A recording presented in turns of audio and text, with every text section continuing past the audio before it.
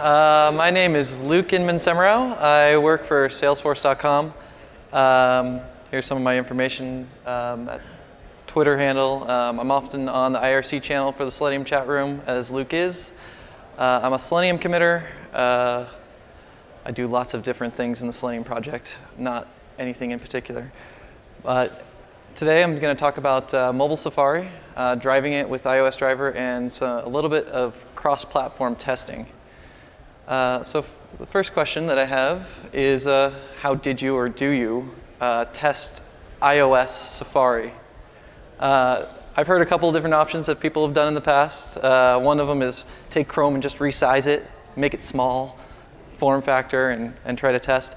There's lots of reasons why you shouldn't do that. Uh, many of them involve you're not really hitting your target um, your, target browser. You could be uh, a, totally missing uh, a bunch of JavaScript bugs that could be happening in your application. Um, there's a, a, a, link down here, a nice little article uh, from Paul Irish talking about the differences in WebKit, and this will definitely let you realize how different Chrome is from even Safari, let alone uh, you know iOS. Uh, and his the quote out of there that I loved is, "So uh, all WebKits are totally different now. I'm scared." Uh, iPhone driver. Uh, this is the uh, now deprecated uh, application that the Selenium project uh, has in Objective-C. It uses a UI web view to um, you know, interact with uh, a native browser on an iOS device. Um, it currently has a laundry list of limitations because there's no API necessarily available in the public realm for handling alerts, cross-domain switching, window switching. Well, that's just uh, a limitation. Quit right now doesn't do anything. Uh, and there's no such thing as uh, touch or native, uh, native events using iPhone driver. So generating a tap, double tap, or swipes, um, those don't exist. Um, so what you used to have to do with that is you'd take Xcode, uh, download the Selenium project, take forever to build it, and then it gets deployed in here, uh, this little app. And when you start it and run your tests, it runs against this blank UI web view. That's nice, but really what you wanted to do was click Safari and launch that natively. And so to do that, if any, or probably most of you were listening to Francois, we have uh, iOS driver um, you should actually, or uh, iOS driver itself is a complete um, replacement for iPhone driver. Uh, it does everything it can do and more. Uh, on a simulator, it has, um, it's only limited by what we've coded so far right now, it seems like, in the project for most of the Selenium API. Um, you can do alert, alert handling, window switching, um, touch events. Um, you, right now in the 0.6 release, you won't have many of them implemented, but there are many that will be available in future releases. Um, there's limitations though running on a real device. It is possible, and, and 0.7, as Francois was, uh, was talking about, will be able to run iOS driver on a real device, but you lose um, a lot of the native instrumentation um, uh, hooks and switches that you could do. So you lose out on alert handling, you lose out on window switching, and you, don't, you aren't able to do the touch events. But that's for real device only. Uh, so now the workflow for that becomes open a command prompt, start a jar, and then run the test. So it's much, much simpler uh, from a development standpoint uh, and even locally testing. Um, so let's look at it going. Um, I've got stuff. I've got a, a little demo of it. This is um, basically a test that I'll show you the code for in just a second. Um, that this is running against iOS driver, mobile Safari, logging into Salesforce. Um, then it's going to go to our chatter feed page, create a new post, and verify that that post is the latest one on the feed. So just watching that go real quick.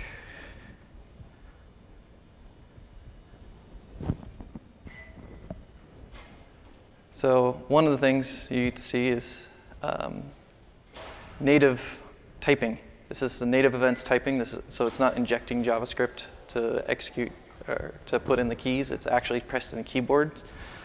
Um, here it's hitting share. There's a little bit of resize um, zooming in and zooming out that iOS does automatically for you, but oops.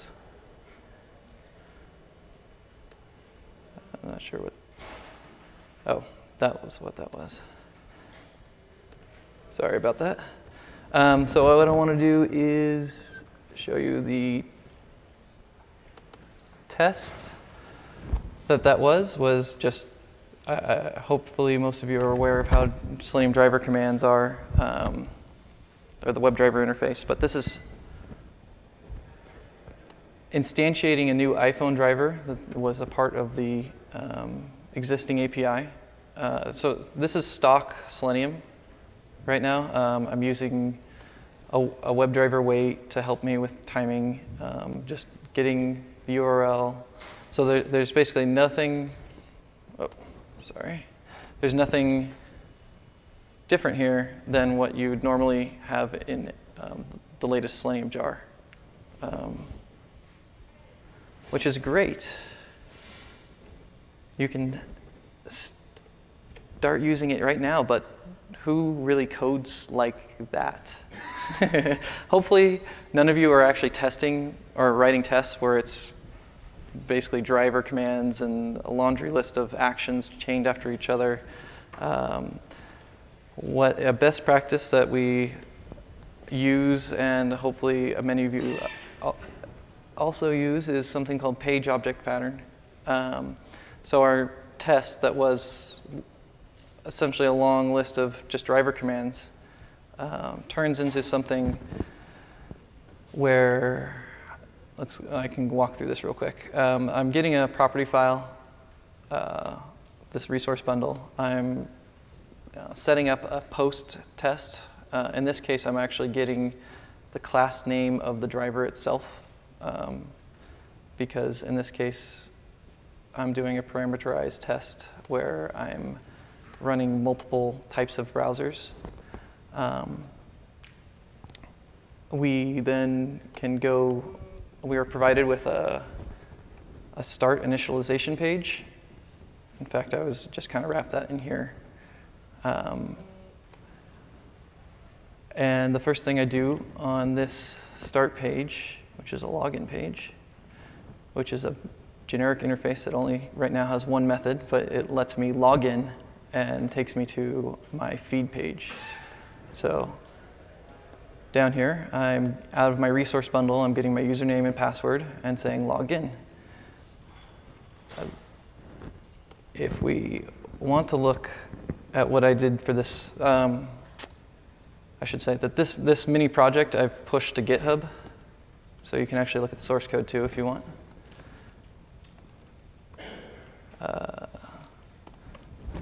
just uh, um, Luke is seconf. Um, feel free to clone it and look at it. I did not check in the resource bundle with the password and username. um, but it's, uh, if you wanted to actually run this, you could. Uh, you could set up a, a, development org on Salesforce uh, and, and um, test against it. Those are free to quickly sign up if you need them. Um, so the next thing it does after logging in is it creates a post, and that's on this chatter feed page API that was returned from the previous page object, and it has a couple of methods.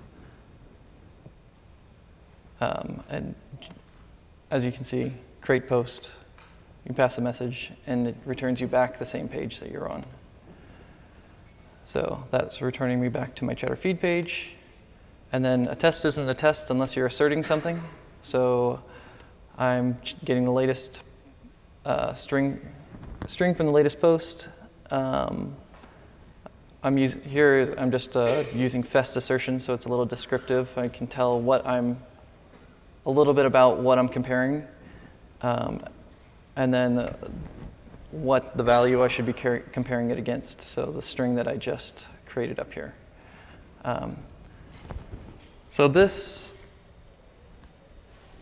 test case is a high-level uh, business scenario, essentially. We want to always have um, users be able to log in and post. This is a little bit more complex than I think I like a lot of tests to do. Um, ideally, you wouldn't be necessarily testing the login functionality with the, the creating of a post, but um, in this case, uh, I was demo. uh, let's see. Um, the interfaces that I have provided as a page object, I'm able to then run this test uh, across multiple browsers and multiple platforms, so Android and iOS, by implementing these interface these page object interfaces uh, up here. So I, I lump common mainly because right now the browsers act exactly the same. So I can run Firefox and Chrome and um, both of them are the same exact Selenium WebDriver code, but Android and iOS are slightly different. Um, they have different flows um, in our app. So uh, these are actually against the native applications themselves. Um, so one of the things we can I can show you real quick is so log in. I'm doing a little quick execute script to put the credentials in instead of sending keys, clicking the button, looking for a button that could appear, and then uh, making sure I'm on the chatter page. Uh, Android, well, I should skip that. uh, uh, the reason why Android right now is commented out because uh, in my example, um, when you've when you've already got Selendroid running, you could have it logged in already, and I didn't want to. I was having a couple bugs in this demo. Um, here is the iOS driver one, so it's slightly different. I have my locators uh, up here, um, but as you can kind of see, for this is even for iOS driver native my locators are relatively simple um, by ID by tag name. Um, those are discovered from, uh, if you were paying attention to Francois' talk, the inspector. Um, well, the resolution is going to kill me here.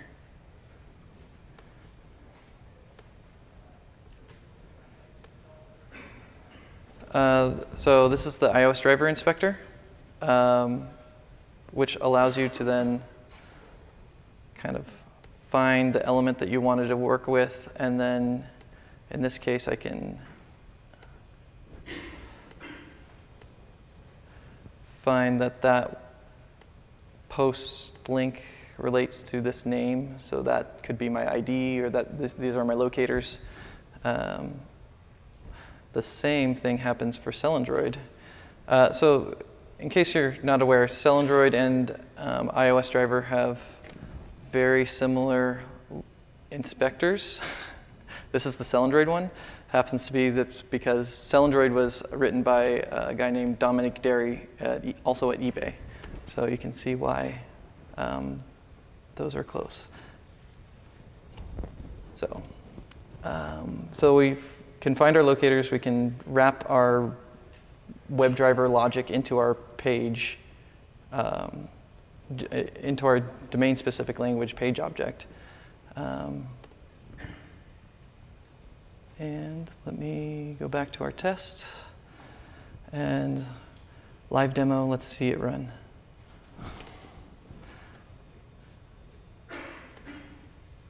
Okay, so I'm going to cheat a little bit. I've got Selendroid here for Android.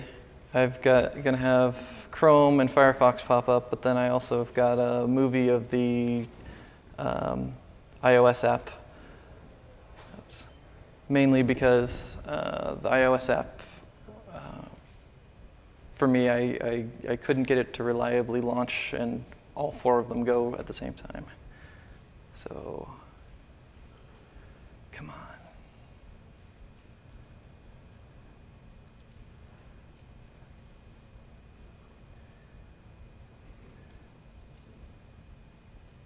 There we go. Okay. So this is the movie of the iOS driver one. Uh, right there, I swiped, swiped it aside just to uh, um, enter my own credentials so you guys wouldn't see them. um, this is going one at a time. Um, Android first over here, it's going to hit the post, create a new post, type the text.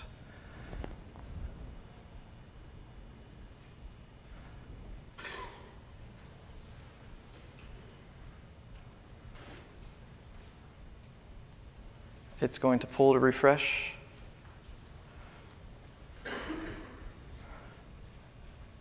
And it found the post, but it went way too fast. and now we've got Chrome going. So basically, it's one business use case uh, written with page objects that's able to run across all these platforms and devices at the same time. This, this code that I'm uh, that I put out there on GitHub is just stuff I whipped together truly last minute. um, it's kind of inspired but what we're using at Salesforce, but not quite the same. We have a lot of other logic to um, spin up or how we instantiate the drivers, how we um, set proxies, and uh, we also don't go to the login page to log in necessarily. Or we, we go to it just to set a cookie and then jump to the page under test. Um, there's no need to always test your login, um, but that's that. This is essentially what we're trying to do and move it forward, so we can eventually have page objects that um, individual platform teams can help maintain, and then other testers can develop their use cases and write high-level tests and just have it available for all browsers, all platforms.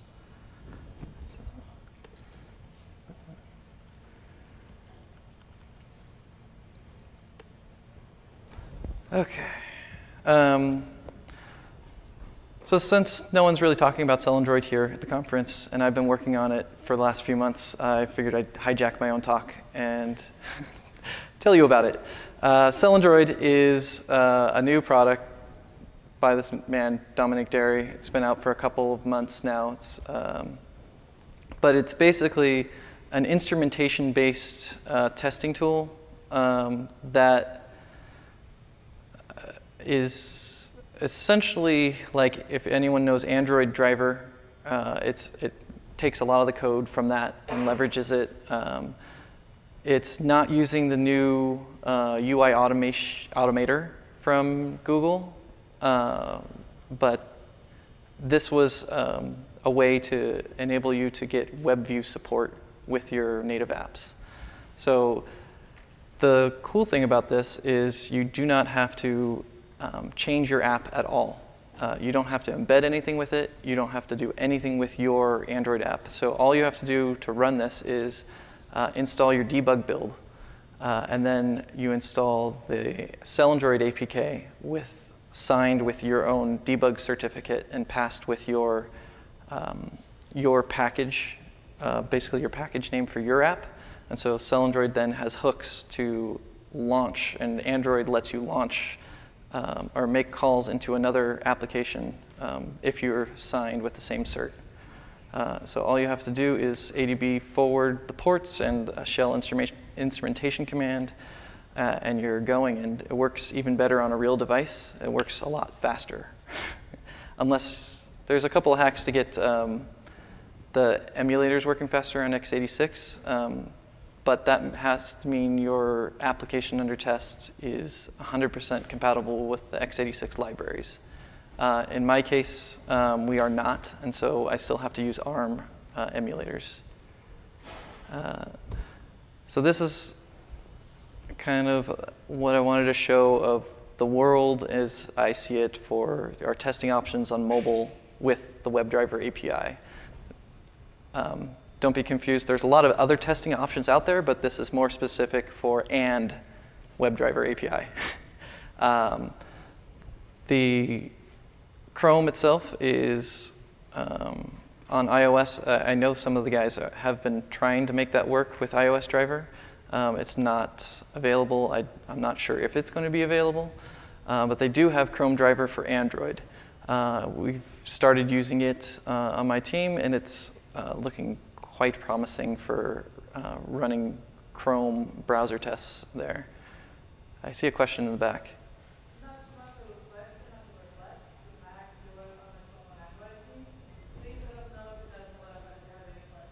Will do. Yes. The, the wiki page says uh, Chrome driver for Android is in alpha. It very much so is. Um, I'll leave it, since you're in Chrome, the uh, desired capabilities for the package kind of keeps changing, and that's not exactly right for what the production, it should be like COM Google Chrome, but it keeps on, every time I look at that page, it changes, and it's not quite for every user. Um, but other than that, it's been working. Uh, we've got, we've, we've done a sample set of tests against it. We're uh, in the works to trying to roll that out in our test bed. Um, Firefox, Dave, David, I don't know. He, uh, he's been doing Marionette as he just showed you just a few minutes ago. Uh, that works on Android. Uh, I do not think they have anything um, for iOS. Can be corrected if I'm wrong. Um, the uh, sorry, I meant to default browser. So this is mobile Safari. Um, so as, as you see, uh, iOS driver works for mobile Safari. Uh, it's in the works for um, using it on real devices. That'll be 0.7 release coming out soon. Um, Android, I know no um, nothing available right now to launch the native browser and actually drive it. So what you can do instead, uh, there is the Selenium um, Android driver, but that falls, don't know why I didn't list it, but that falls down into the hybrid app because essentially it's embedding a UI web view which is different than the actual native browser. Uh, native apps themselves, we have iOS driver, Appium, um, what used to be called native driver now is called app driver, but both of them have since been deprecated um, or not, not hugely active supportedly. Graham's right here in front who's, who's got the current fork. Um, he, but it's not, not being active, let's just say that. Um, let's see, uh, Appium and Selendroid for your native apps. AppDriver also is there. There's one person who's semi-maintaining that. Um,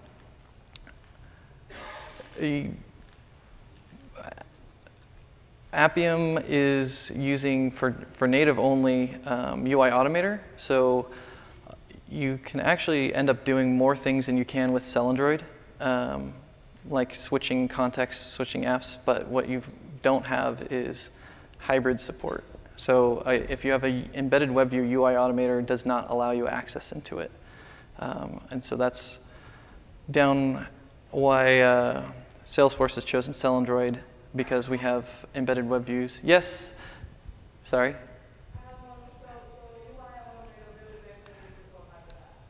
I've been looking forward to that oh so much. uh, yes. Uh, as I'm hearing, in the future, UI Automator will help support web views, but it doesn't now. Um, no offense to Google, but that doesn't help me right now. it's okay. Um, all right. Um, Does anyone have questions? I've been getting a lot of different questions on, but basically, what is supported, what isn't supported, what do each of them do? Uh, am, I, am I not really being clear here, or is, does some people have some questions? I know I've gotten a lot in the last few days around this, but any any questions on that? Yes.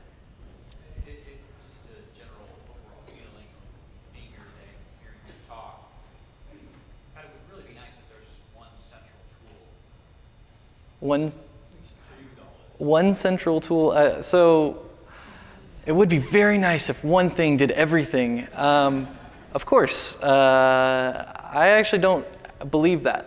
Um, I believe that the WebDriver API is the one central thing to be using and consuming, and each browser or each device or each platform uh, should implement that protocol. Uh, I'm, I'm with you on that. Yes, so as, lo- as long as there's support, and, and I don't know if Simon's in the room, but it, it's his goal, uh, and it's a, a part of the project's goal, is to get vendors who are uh, creating the platforms, creating the browsers, to supply that API. And so it would be built from the ground up inside the platform that you're testing against. So the great example right now is Mozilla with Marionette building the WebDriver API straight into all Firefox products. That's uh, when that comes out for us for public consumption, that'll be excellent. There will be no more, you know, Firefox driver in the Selenium code base, and um, it's all handled by Mozilla. And I, I'm looking forward to that. Yes.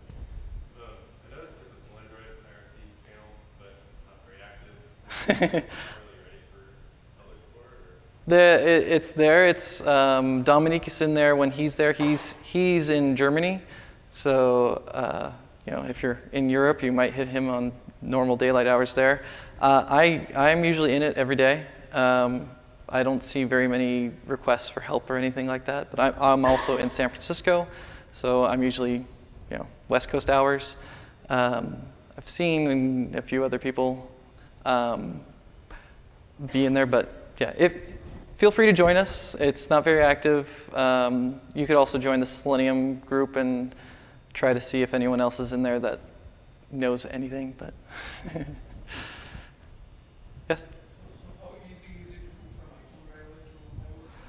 Ah, how, how easy is it to go from iPhone driver to iOS driver? Extremely, very, very, very easy. Uh, as in, we have replaced our iPhone driver tests and are currently using iOS driver, and more tests started passing.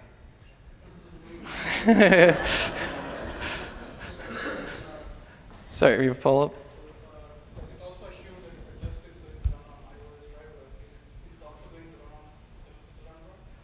No. So, uh, okay, the question is, is if, it- if you have a, a test running on iOS driver, is it going to run on Selendroid?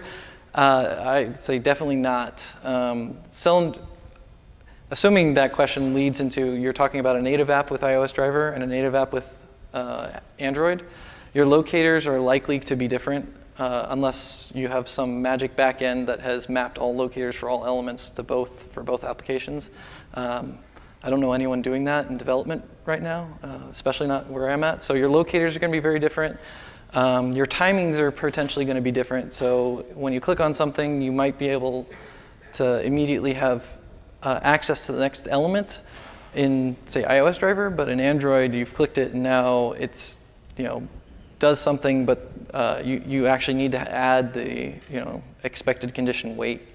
Um, so my, my suggestion is the best practice is to use page objects, um, create interfaces for your page objects, implement those interfaces for each platform, like Android for Selendroid and uh, iOS, iOS driver, uh, and then you know you, potentially you could do it for each of your browsers uh, if you need to, but then um, come runtime for your test, depending on which browser is launched, you inject the appropriate page object that's from the particular um, device or platform, and um, that essentially, if you if you you know stick with the interfaces, then it, it, it should be relatively seamless.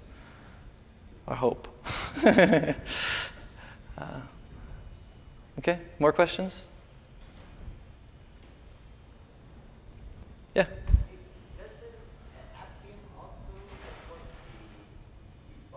Yes, I'm sorry. I left that. I, I, it does. Yes, it does. So I, I thought I tried to edit this slide beforehand, but uh, the default browser is supported in Appium. Um, I'm not certain what their level support for. Uh, you guys can talk to it about um, real device, um, but uh, by default, also iOS drivers can pure native events. I don't know. Does it, is it Appium guys in the in the room who want to speak up and say something? I, I'm, I'm anyway. I'm looking at you, Dan. Okay. So yes.